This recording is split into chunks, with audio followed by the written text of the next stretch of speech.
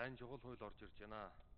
Энэ 10 мэдээлэл авах эрхийн хууль батлагдсанаас 10 жилийн дараа харин энэ хуулийг оруулж ирж байгаа зүйтэй байна.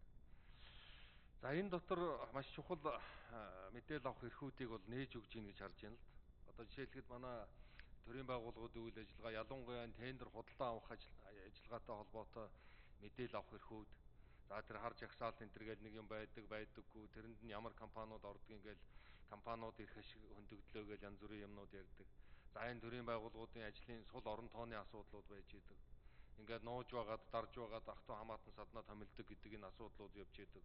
Тэгэхээр үнэхээр одоо энэ энэ асуудлуудыг үнэхээр зэгцэлж ингэж энэ хуулиар бүрэн хуульчилж чадчихвал энэ бол одоо нэг дэвшил болох гээд байна л да. Үндсэндээ бол одоо сүүлийн жилүүдэд сошиалор ажил явуулдаг, сошиалор мэдээлэл авдаг болох гээд байна шүү дээ. Төрийн байгууллагууд сошиал дээр ийм мэдээлэл явж ийн гэж байгаа шийдвэрээ өөрчилдөг юм уу? Тэгэхээр ийм байлгахгүй үднээс яг энэ албан ёсоор мэдээлэл бодит мэдээллийг төрийн төр засгийн байгууллагууд иргэдээ бодит мэдээлэлээр хангах, иргэд нь бодит мэдээлэл авахын эрх энэ хуулийн дагуу бүрэн хэрэгжинэ гэж ингэж үзэж байгаа. Би зүгээр хууль зүйн дотоод хэргийн сайдаас ганцхан юм асууя. Энэ одоо ингээд их хурлын гишүүд мэдээлэл авъя гэж ажлын хэсэгт орлоо барьлаа гэж мэдээлэл авъя гэхээр тодорхой хэсгийг нь а энэ бол нууцаа. Нууц гээл ирүүлдэггүй. А эсвэл нууцын тэмдэгтээ мэрүүлчихэд энийг та нар гаргаж болохгүй шүү гэл ингэдэг байхгүй юу? Энэ Эрдэнэс таван толгой компани төрийн өмч товцоод компани одоо жишээлхэд гэрээ хийж байгаа байдлын нүүрсний гэрээ хийж байгаа байдал ч гэдэг юм уу энэ санхүү үйл ажиллагааны энэ зардлын асуудал жишээлхэд энэ хуулиар нууцад орох уу хилд орох уу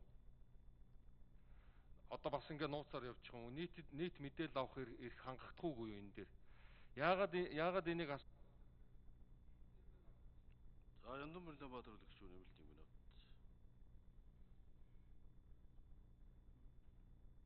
Яагаад энийг асуугаад байна гэхээр жишээлхэд одоо Эрдэнэт үйлдвэргээ төрийн өмчт компани одоо бүх зарлага орлого одоо ашиг орлого юмнууд нь улсын төсөвдөө төвлөрөөд мэдээлэгдээд улсын төсөвтөө дахин хуваарлагдаад ингээ явж идэг. Эрдэнэс тавталгай компани одоо тэр ашиг орлого гэдэг юм юмнууд нь ингээд төвшийн бус маягтай ингээд бид нар ямар ч мэдээлэлгүй ингээд нэг том компани байгаад байдаг. Яг адилхан хоёр компани. Тэгээ нэг хэсэг нь болохоор тийм нууцтай юм шиг ингээд мэдээлэл нь олддггүй нэг ийм маягаар яваад байгаа байхгүй юу.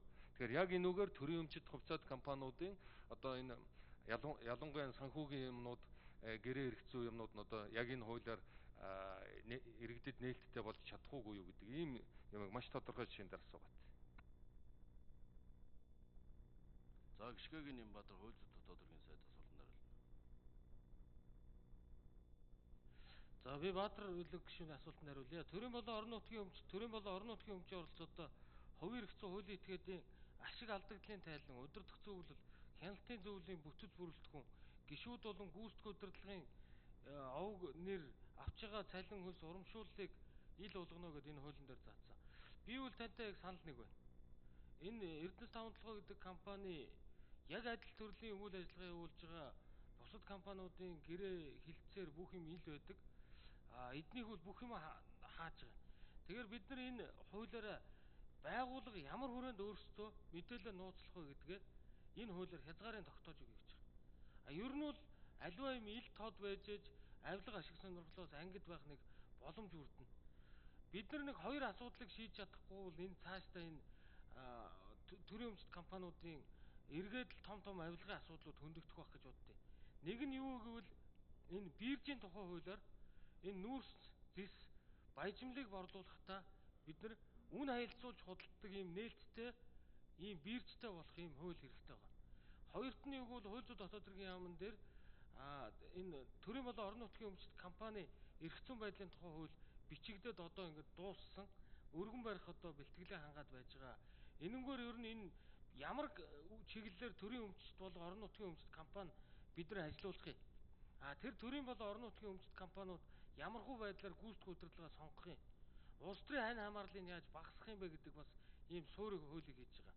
Тэгээ энэ ажлын хэсэгтэр та бүхэн бас орж ажиллаад яг саяын мэдээллийг ил тод болгох энийг одоо ажлын хэсэгтэр саяны миний хэлсэн залтыг бүр дэлгэрүүлж болох юм. А нөгөө байгууллагуудын хориглох мэдээлэл ямар хүрээнд хязгаарлахыг нь хориглож өрсөн ийм зохицуултыг хэдүүлээ энэ боловсролтой явцад бас ажлын хэсгээр давхар ажиллая л гэж. Би таны саналыг дэмжиж байна Баатар үлэг гүшүүнэ.